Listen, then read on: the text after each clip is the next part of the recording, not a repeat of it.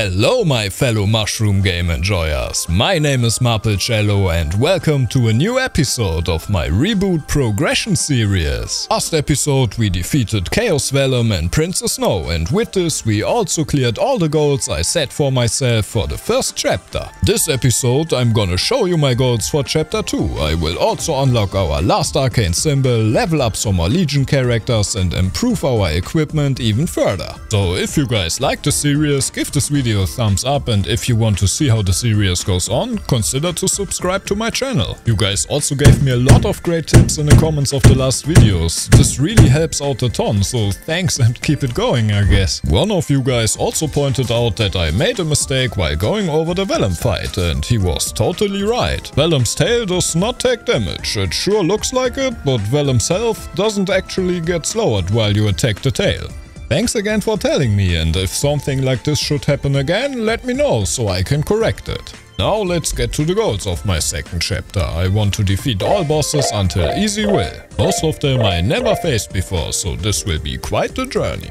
To accomplish this, I want to Starforce my gear to at least 17 stars and this time I'm gonna try to enhance my gear while some sort of Starforce event is going on. In that way we make the most of our Meso. We also gonna aim for unique potentials on most of our gear. But if the opportunity comes up to get some more legendary potentials like with the recent Miracle Time event, I'm gonna of course try my luck. And for flames, we still gonna aim for a flame score around 75. We also start to complete the world quests at Haven and the Dark World Tree. These weeklies both reward their own currency that can be traded for our next gear upgrades, the Absolab set. But to be able to get this equipment, we also have to defeat the next bosses, Lotus and Damien. These bosses also drop their own currency and in addition with the weekly currency, we can then trade these in for the equipment. The Absolab set is level 160 equipment and that makes it even more expensive to enhance than our Fafnir gear.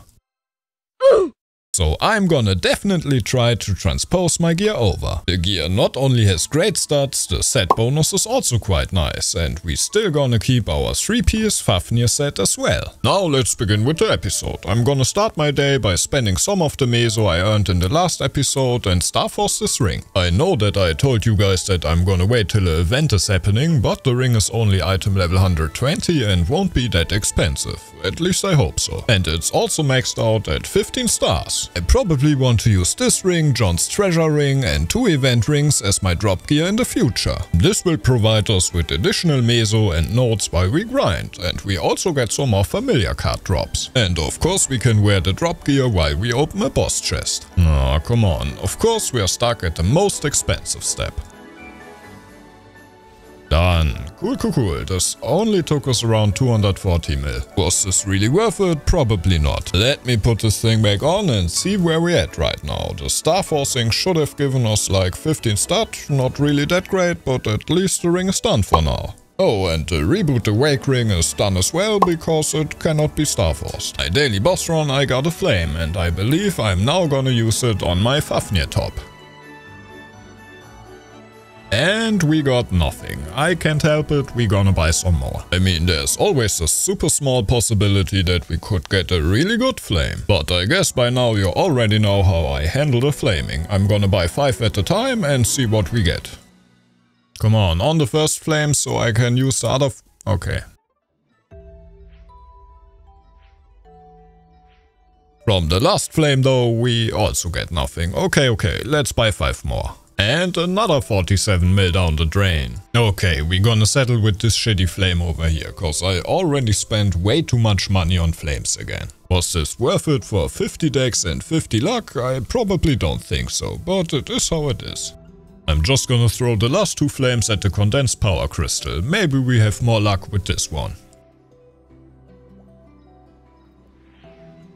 And of course not. Because I'm still fully buffed and even have an MVP buff, I'm now gonna go for a little grinding session. The weekly event is still going strong and I have another ticket I want to use up. Here's the amount of XP I got while I used the ticket. In hindsight, I should have definitely waited till I get a rune. That would have maximized the possible experience I could have received, but now I know that for the next time.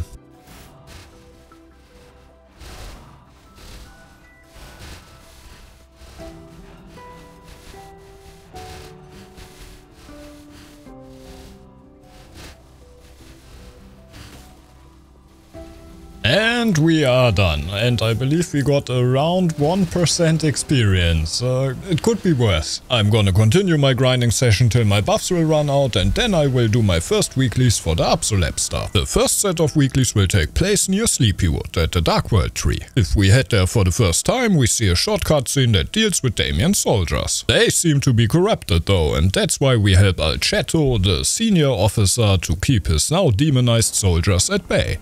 The weeklies in this region took me around 5 minutes, mainly because we already have such a high level. And now that we went through all the quests, we get our first 20 Faint Stigma Spirit Stones. 20 of these, together with an item we can get from Damien, can be traded for 1 Stigma coin. We need 2 for the shoulders and 5 for the weapons, so this will take us some time I guess. To unlock Damien, I have to complete the Heroes of Maple storyline first, or at least the 4th chapter to be exact. But this is something I will do at a later point. The next set of weekly quests will take place in Haven. We already unlocked this region at level 199. From that point on we could have also started the weeklies, but the mobs you have to hunt for this quest can also range till level 220. I'm also done with these quests and for completing them we receive 12 diffusion line energy cores. And together with the cores we can obtain from defeating Lotus, these can then also first be traded into coins and then into equipment. To unlock Lotus, we have to complete the Blackhaven storyline, also something I will do at a later point. The moment I was finished, someone announced the MVP buff, so I'm gonna use my last deity coupon, grind till the buffs run out, and then I'm gonna train my next Legion character. The next class I'm gonna level is Aran. This class also got released around the same time as Evan if I'm right. I at least remember that there were a lot of Arans around back when I played with my little brother. Aran's tale begins with us awakening on the frozen isle of Rien. Lillian, the last member of the Rien clan, guides us throughout the challenges of our memory loss and our diminished abilities. Thanks to Lillian's training, we rediscover some of our lost power and we are already free to go where we please. Up to level 20 I'm gonna level at Stone Golems, this place is just too nostalgic for me. Lore-wise, Aran is also one of the 6 hero classes that originally sealed away the Black Mage. Nearly all of Aran's attacks are ice-themed and most of them can be triggered by using using your attack button together with different directional inputs. So somewhat like a special move in a fighting game I would say. It's not for everybody I guess, but I kinda enjoy it. You can also use most of the skills by themselves, but they do a little bit less damage that way.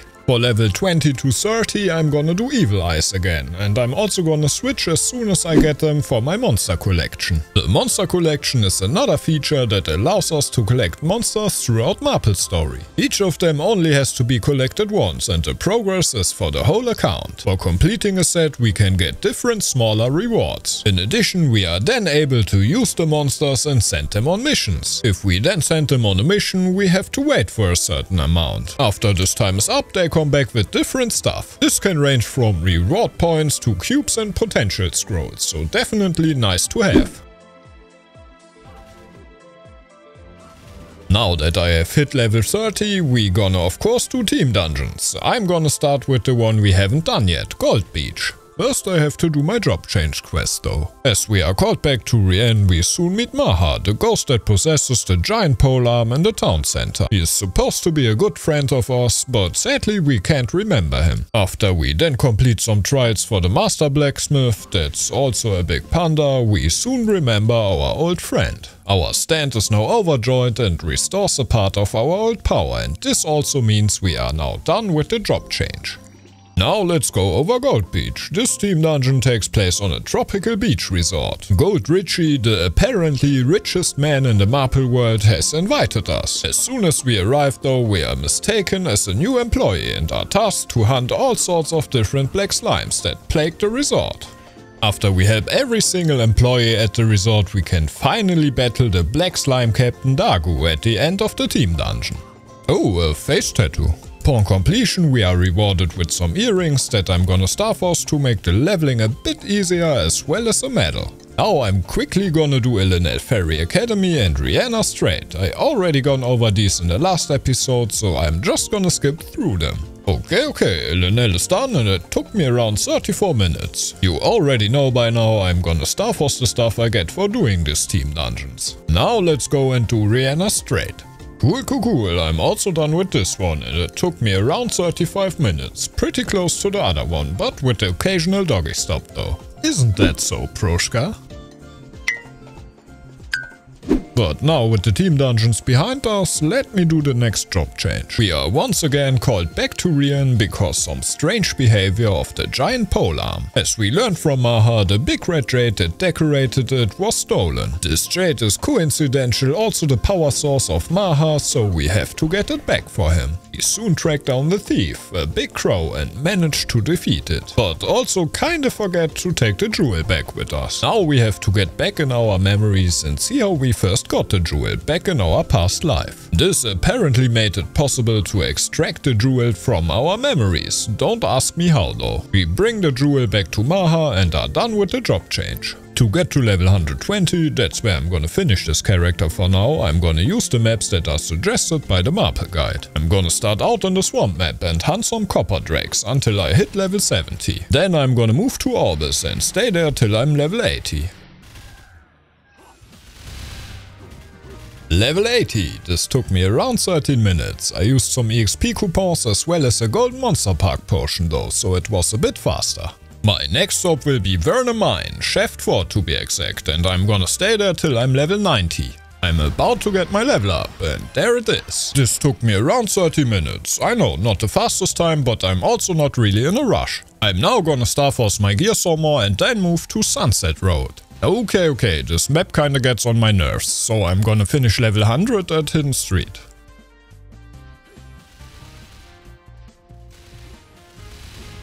And we are level 100. This took me 22 minutes though. For the next job change we have to once again go back to Rien, but this time we have to fight Maha. This is done pretty fast and after the fight we are already rewarded with our 4th job advancement.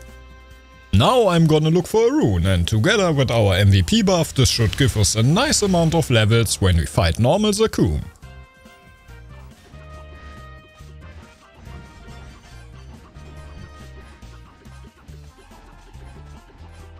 All the way up to level 107 and we also got the condensed power crystal. Let's head to Skynest 2 next and I'm gonna stay there till level 115. I changed my mind, I finished the last 5 levels here on Toy Factory, the whole process took me 14 minutes. I'm now gonna do the Lion King's Castle quest till I can enter the first maps, so I can maybe collect some more familiars for the badge of this region. Nice Areno, level 120. With this I'm done with this char, and that for a while. Aran's Link skill Combo Kill Blessing increases the combo orb experience by 650%. These orbs appear for every 100 mobs we defeat on a map, so pretty handy while we grind. This Legion block gives us a 70% chance to recover some of our max HP with each attack. Not the best bonus, but also better than nothing. As I'm already on the Legion grind, I'm now gonna create my next Legion character, Mercedes. Mercedes is also one of the six hero classes. We are the king of the elves and have joined Freud and the others to become the heroes of the Maple world, who fought against the Black Mage centuries ago. During the fight we have been gravely injured, but thanks to the Silent Crusade help, we managed to survive. Kinda funny how everything intertwines. We could say that our first character kinda saved Mercedes while we done the questline for the Silent Crusade. After the Crusade left, we awake and speak with Afrien. He warns us that the Black Mage's curse would affect our kingdom, as the destiny of the elves was tied to that of their ruler. Now we rush back to Elluel, where we see that our subjects are freezing in ice one by one. But before we also take a good nappy, we close the borders to prevent the curse from spreading into the Maple world.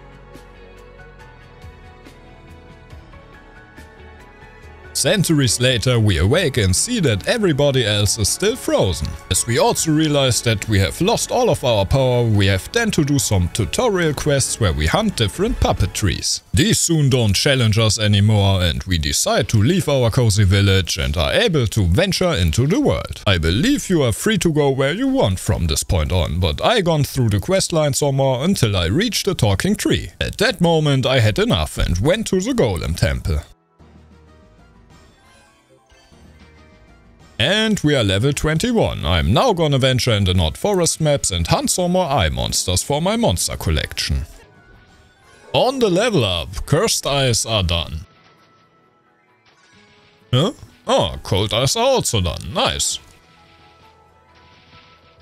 Awesome, we have all monsters collected. Now we could claim the reward, but I'm gonna do this on my main character. We could also start our first exploration, but you have to be level 33 to do this. I'm now gonna finish grinding over here until I hit level 30. And done. Now it's time for the job change. For this we have to return back to the King's Seat. There we have to play a giant harp that calls a great spirit. His spirit then gives us a little pep talk and then the job change is done. The weapon of choice for our little elven king is a bowgun and this class also has a lot of stuff that can combo into each other, but I believe we won't use that at all while we level. For the remaining leveling process I'm gonna pretty much do exactly the same as with the other two characters. First I'm gonna do all three team dungeons. So let's begin. I have already cleared Gold Beach and Rienne, but I just hit level 60, so we now can do the job change. For this we just have to go through some dialogue and it's already complete. But now let's continue. We are done with the theme dungeons and this took me exactly 46 minutes. I wonder if I'm still gonna do this on my, I don't know, 8 character or something. I guess we'll see. For now I'm just gonna grind till level 120 and see how long this takes me. I also feel like this class would be awesome for people that like to jump a lot, as some of his skills require require you to be in mid-air. I kinda like the playstyle, but I think if I'm gonna play a range class in the future, it's not this one. And here I am again. It took me an hour and 40 minutes, but now I'm gonna hit level 115. There we go, I'm gonna stay on this map until I hit level 120, it's just too cozy over here. I can basically just stay here, jump a little bit and can clear the whole map. This is by far my favorite random event. My fiance also always laughs when she sees how focused I am to hit this little red bar. Additionally, we gonna hit level 120 with this minigame. Okay, okay, this whole adventure took me 2 hours and 55 minutes, but I also took some time to record the tutorial stuff for you guys. So I know, excuses. But I'm curious how much I can shorten this time in the future. What do you guys think? Is the time okay or is it sluggish? And how long do you guys take in average to get a character character to level 120. I would love to see all the different times you guys take to level a Legion Mule to level 120. So let me know your times down in the comment section. But let's get back to Mercedes. Her Legion block reduces the skill cooldown of some skills by a small amount. Hey, that's pretty good I would say. Her Link skill Elven Blessing increases the experience we receive. I think 15% additional experience is always nice, but that's also it for the Legion grind. At least for today, because it's already dang late and I'm gonna head to bed now. Hmm? Oh man. I started the day out by doing my daily boss run and we got Chaos Horntail for our monster collection. It's an act though, I'm not really sure why. Anyways, I'm now gonna complete the run. Okay, okay, we're gonna buy another bag. I still run out of space from time to time when I do my boss run. This time I'm gonna take the production bag. Now that's better. Oh, additionally, we completed the challenge for the 6 star event. This one rewards us with 3 inventory expansion coupons. I'm gonna use these like the ones before we already got. One for each inventory besides from the one for chairs. I probably finished the challenge while leveling the Mercedes. Perfect, even more space. However, back to the Arcane River dailies. I finished my dailies and there's the MVP train happening right now. Since I have a little bit more time on my hands before I have to work, I'm gonna grind out the remaining XP to get to level 235. And we are done. This took me a bit more than an hour. The MVP buff also just vanished a few minutes ago, so perfect timing I would say. Level 235 means that we are now able to place another skill in our V matrix. I'm gonna take the Sand Advanced Blessing for now, we still have some space in our auto buff slots. I skimmed through some of the familiars we got and we received one with item and meso drop rate. He increases our drop rate by 20% as long as he's summoned. That's pretty handy, but I also should really try to get my first badge soon. If we at least have one badge, we can already summon two familiars at once. The other ones we got were all useless though. I'm also now able to collect a reward for chapter 1 of the 6 star event. Actually, I'm already R for a while, but I don't want to forget it, so I'm now gonna collect it. This reward contains a lot of stuff that I already went over back in episode 3. The most stuff we get I won't even use on this character. The Vec pet though is pretty cool, we can stash it away until the one we already have runs out. Then we have a new one ready as soon as this happens. You also get 1200 arcane symbols, but I'm not sure if I should just try to max out one symbol or if I should split them. Let me know your guys' opinion about that down in the comment section. On top of that, we also get the XP potion that gives us one level up if we are between level 200 and level 209. I'm gonna also try to use that on another character. Furthermore, we get the Arcane Umbra weapon box. This is a level 200 weapon that also can't be Starforced or enhanced since it's also a event item. I already have the Absolab weapon on this character, so I'm gonna bank that one for a future boss mule. Maybe he can use it. We also get a shiny prestige box and 20 Karma Solid cubes. This box contains one legendary circulator, allowing you to reset your inner ability directly to legendary. Pretty handy, but we already have a legendary inner ability, so that's also something for another character. Additionally, we get 5 chaos circulators and 3 black circulators. These are both handy if you already have the inner abilities you want and now just want to get good numbers. And of course some honor medals that give you a good amount of honor. Of course I'm gonna use all the medals on this character. Let's use one black circulator and see what we get. Ooh, 19%, don't mind if I do. I believe 20% is the maximum we could possibly get, so I gladly take 19% for now. Let me spend some honor and see if I can get some good abilities. Maybe we can use the circulators that way.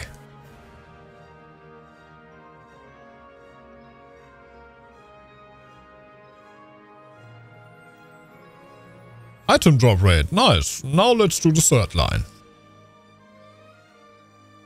Okay, Meso obtained. I'm gonna take this one for now. I believe I'm set. I'd rather have boss damage, but I plan on grinding a lot in the recent future, so this will be fine as well. I'm gonna throw the cubes we just got on our emblem. Maybe we can get a lucky tier up or some good stats.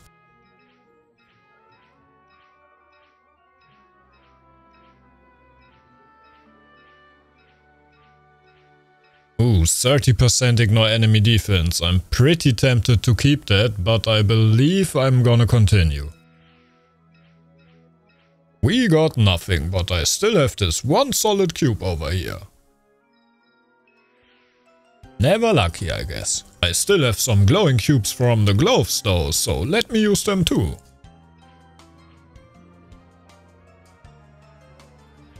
Still nothing. You know what? I'm gonna buy 10 more and see if we get something good. A few moments later. 7 cubes in and we got this potential over here. It's okay for now, I guess, and I don't believe I get something better with the remaining 3. Let's put this back on and see where we at. I kinda feel like I lost range.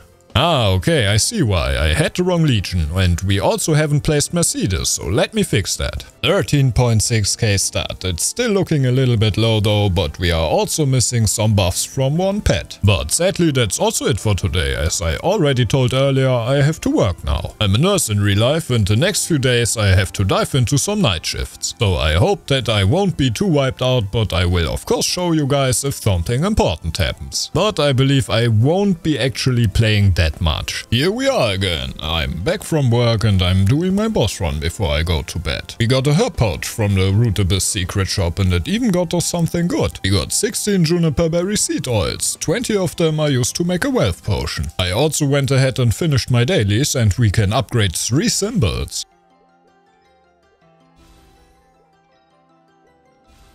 Nice Sereno, now we are pretty close to 14k stat. This took us down a good 160 mil though. But that's also it for today. I'm gonna watch some alchemy before I head to that bed and do some YouTube. Exactly. As you can probably tell, I'm pretty tired, so I'm just gonna do Ursus before I head to work after I went to sleep and that's probably it for today. Another short day. I just came from work. The Yeti delivery week has ended and now the slime healing spa week begins. This event is pretty nice if you want to level a character from level 150 to level 200, but sadly I just have my Evan. You can enter 3 times a day per world for 100 coins per entry. Then you have a chance to get a random amount of levels. The higher your level gets, the lower is the chance to get multiple level ups, kinda like a growth potion. And this also means I now have to cap coins with my Evan, so I can get at least something from the event. To my luck I still have 300 coins left from the time I leveled him up though, so I can start right away.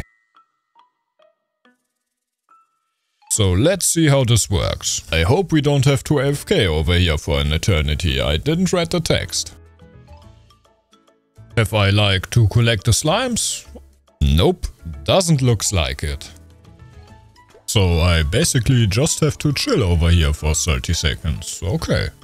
Four levels, nice. I guess I'm gonna show you guys how many levels I got after I went through this stuff. The last one just gave me one level, so my Evan is now level 161. I guess that's also it for today. I already done everything else in terms of dailies and stuff. I lied, I went up a little bit early before work so I can cap my coins another time and my Evan is now level 163. Now that's really it for today. I'm back from work again, done all the daily stuff for today and for our stamp we get some more tasty points. With them I'm gonna increase my crit rate some more. Now I'm gonna head to bed. I want to be up a little bit early before I will go to work tomorrow so we can do the quest line for the next region, Esfera. I went up early, but I totally forgot that I also have to do the stuff with my Evan each day. Anyways, he's now level 171. This means we got 8 levels from our 3 uses today. Let's quickly cap the coins again. And 30 minutes later I'm finally done, but I hit level 173. Now I'm gonna quickly do my daily stuff. I finished my dailies and we don't got any more upgrades, but we can claim our money from Apple Tour. Now I'm above 1 billion meso and that's for the first time. Now let's begin with the quest line for the next region. This one will also give us our last arcane symbol by the way. The quest begins as Jean alerts us that a group of strangers had descended upon Moras. The group of strangers turned out to be a team sent to our help, comprising a Cygnus Knight named Olier, a resistance member named Schubert and a magician called Melange. And these guys found themselves drawn to the Arcane Rivers dungeons. There they stumbled upon a sealed door exuding an eerie light, and as fate would have it, we crossed paths with this group, learning that they hailed from various corners of the Alliance united in their pursuit to help us against the Black Mage. The Thunderbreaker then explains to us that the power of Transcendence lays behind this sealed door. Then the door suddenly opens and we get sucked in. The Resistance guy managed to call his airship at the last second though. The ship then gets pulled with the currents and begins to extend vertically until it finally launches out of the Arcane River into the air above Esfera. And that's also when we first see the Black Sun. Pretty epic. The distance, a masked figure then appears that kinda reminds me of the anime Deadman Wonderland. Anyways, this person seems to dislike us as she blows our ship out of the sky. We and Olier get separated from the rest of the team and wonder what had happened. We try to regroup with the other team members by firing a flare and this turned out to be successful and we are soon back with the group.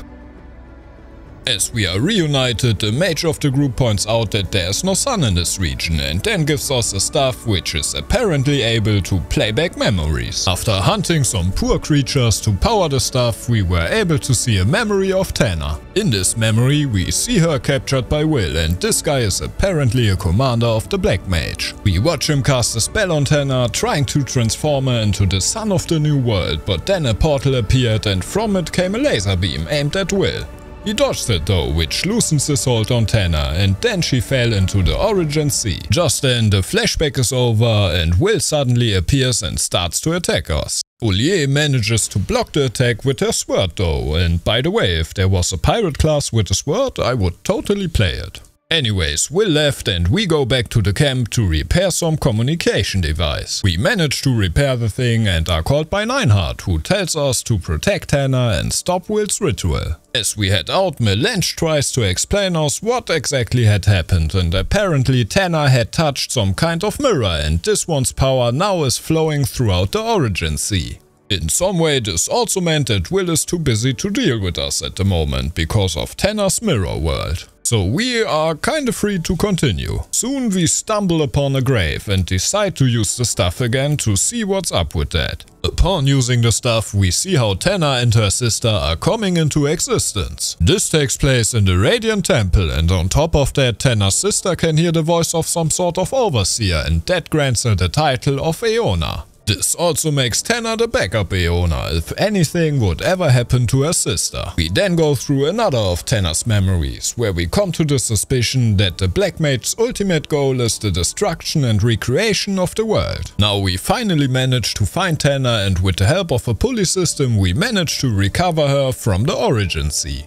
We prepare to take her back, but only a bandage came off, revealing a spider mark from Will's attack, and the Lightkeepers that helped us before really hate spiders, so we had to fight our way back through them. Then Will suddenly arrives and we have a little dispute with Ollier about who of us saves the other. We are the hero of the story though and that's why we stay behind with Tana. We then nearly get thrown into the Origin Sea but get saved at the last second by the masked figure and are teleported back to the base camp.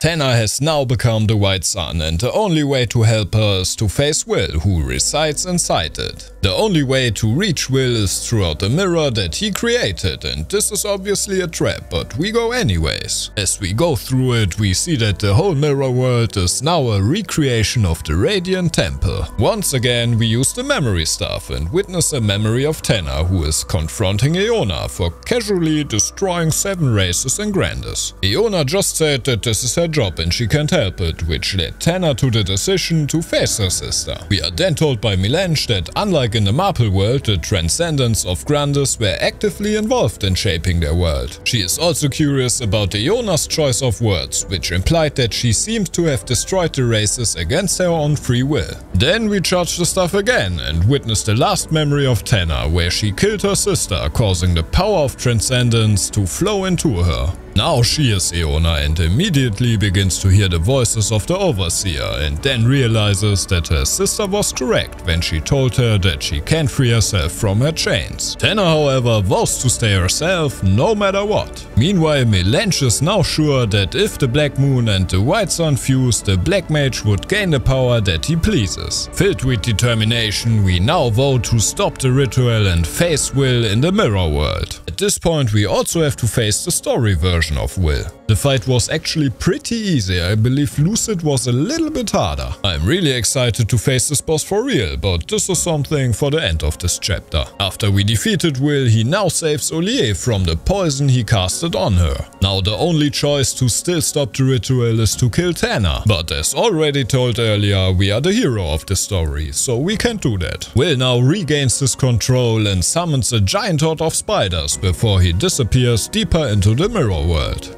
We still can't move from our battle from Will, but at the moment of our demise, Ollier appeared to defend us.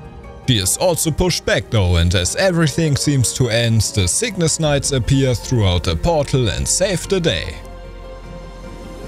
Milange now summons a portal and we all manage to get back to the base camp. While we leave, we see Will facing the masked figure and once their fight breaks out, the White Sun begins to fuse with the Black Moon, creating Tenebris. And this is also the end of the quest. Pretty epic I would say. For completing this quest line, we get access to a new spell called True Arachnid Reflection. This is an additional damage spell with a 250 second cooldown that can be used by all classes. At some point I also want to equip this one. And of course we get a symbol for this region. And we still have 100 arcane stones in our inventory, so I can now use them on this symbol. We actually have a lot more, but I'm just gonna use this 100 over here. Tell me what I should do with the other ones though.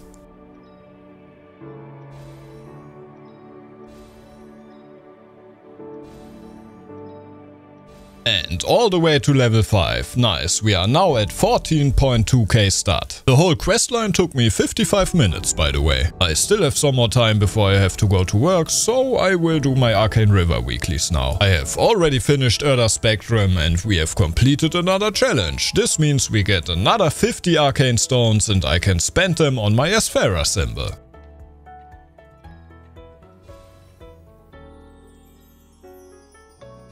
All the way up to level 7. Let's continue the Arcane River weeklies, we probably gonna get some more upgrades. The Morass symbol gets level 8 and the Arcana symbol is now level 10, nice. And this brings us all the way up to 14.6k stat. Now it's time for Ursus and then I have to go to work, so I'm gonna be back tomorrow morning. Here I am again, and I done the hot spring stuff for my Evan once again. Now he's level 180, but I'm gonna head to bed now. Okay, okay, it's two days later. At the day from the last clip, I just done my dailies and Ursus as I woke up, and yesterday I was so wiped out from work I haven't managed to play at all.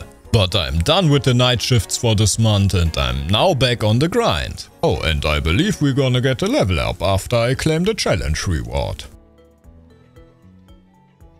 Yes, we do. I'm gonna start the day off with some cubing. I want to finally get a good potential on my emblem and I'm gonna buy some glowing cubes to get it. I want a unique attack line and one line with ignore enemy defense. That can't be too hard to get. I'm gonna go with uh, 10 cubes at a time and we go with glowing cubes. I totally forgot that we still have these three glowing cubes from the last time. Maybe I should have used them up before I just buy new ones, but now it's too late and it seems like they don't give me anything anyways.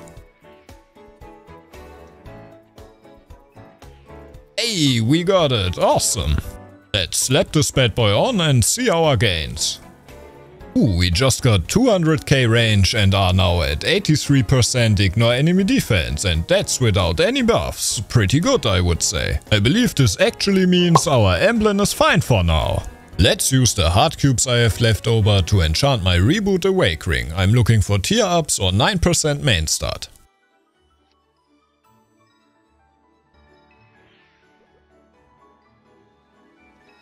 There we go, two cubes in, this seems to be my lucky day. Let's see if we can do something with the Noble Ifia ring.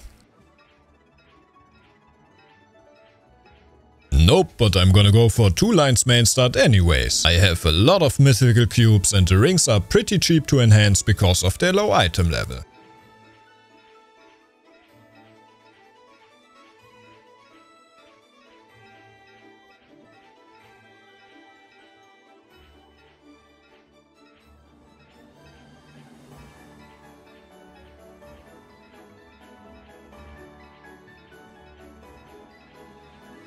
There it is, and this took me 35 cubes. Cool, cool, cool. Let's see how much our stat has risen from these two items.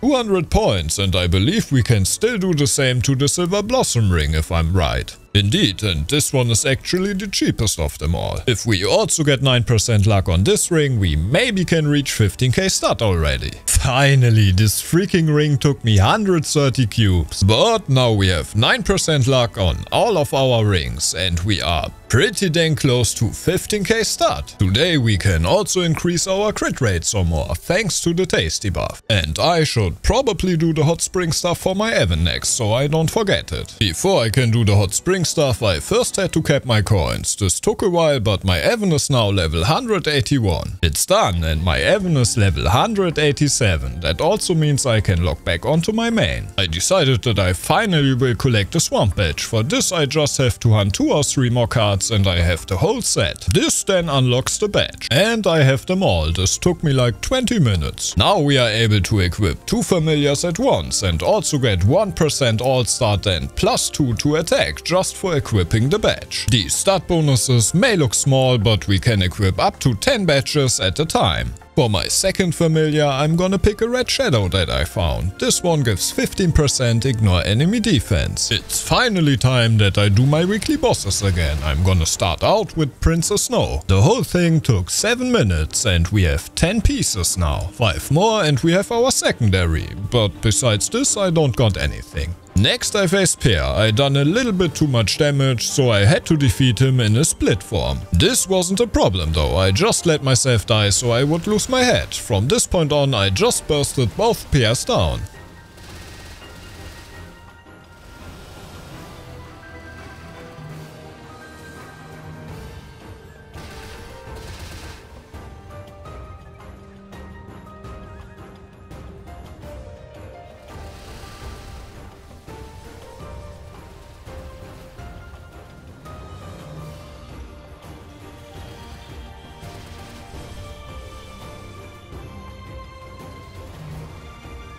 But because of this mistake, the fight took me a bit more than 4 minutes. Ooh, a sparkling blue potion. This one also works outside of CIA. This will be pretty handy in the future. Next was Queen. She took me 4 minutes and 30 seconds. I got blinded at the end though, so the footage is kinda shitty. The chicken took me a bit more than 3 minutes. I still really hate the pink bean fight, this one is just hella annoying. It took me 3 minutes and 30 seconds to complete and I also haven't got my face accessory yet. Chaos Zakum was dead in under 2 minutes and dropped us another cape. I was pretty close to get sickness in under a minute, but I was 2 seconds too slow. I achieved that at normal Hilla though. And we even have another chance to get a pet, but not today I guess. Now I faced Chaos Vellum again. He still took me 8 minutes and 30 seconds to complete and the fight wasn't as clean as I wanted it to be, but I'm getting there.